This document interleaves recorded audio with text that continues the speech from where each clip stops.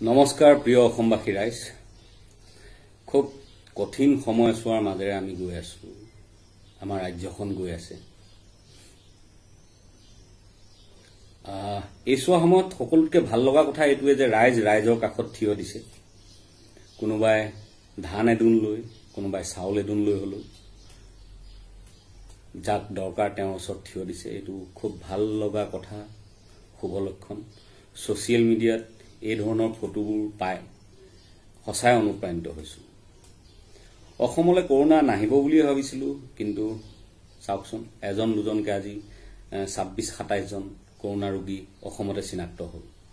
হাজাৰ হাজাৰ মানুহক কোৱাৰেণ্টাইন কৰি ৰাখিবলগীয়া হৈছে।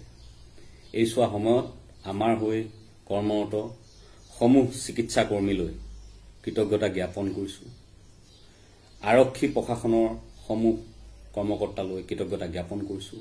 সংবাদ কৰ্মীসকললৈ কৃতজ্ঞতা জ্ঞাপন কৰিছোঁ। আজি মই নিজেও অসম আৰোগ্য নিধিলৈ এক লাখ টকা এটা আগবঢ়াইছোঁ। আমাৰ নিজৰে অৱস্থা খুব ভাল নহয় বিশেষকৈ আমাৰ শিল্পীসকলৰ। শ্বুটিং বন্ধ হৈ আছে মাঘ বিহু নহ'ল নতুন বছৰ উদযাপন কৰা বিভিন্ন অনুষ্ঠান বাতিল হ'ল বহাগ বিহু নহ'ব তথাপি ৰাজ্যৰ এই কঠিন সময়ছোৱাক মোকাবিলা কৰিব পৰাকৈ ৰাজ্য চৰকাৰক এতিয়া যিমান পইচাৰ প্ৰয়োজন তাৰ তুলনাত এই অনুদান তেনেই নগণ্য। কিন্তু ৰাইজ আগবাঢ়ি আহিছে গতিকে আমি আশাবাদী।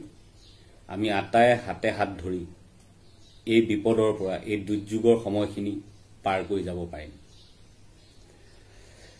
ইমান দিন ঘৰতে সোমাই সোমাই বহুতৰ মনলৈ নিৰাশাৰ ভাৱ অহাটো স্বাভাৱিক। মানুহ হতাশ হৈছে। কিন্তু হতাশাৰ মাজতো মই এটা আহ্বান কৰিম নিৰাশ নহ'ব কাৰণ সূৰ্যাস্তৰ পিছতেই সূৰ্যোদয় হয় বেয়া দিনৰ পাছত আকৌ ভাল দিন আহিবই। নিজকে বিভিন্ন ধৰণৰ কামৰ মাজত ব্যস্ত ৰাখক। ঘৰৰ ভিতৰতে নিজকে ব্যস্ত কৰিব পৰা বহু ধৰণৰ কাম আছে।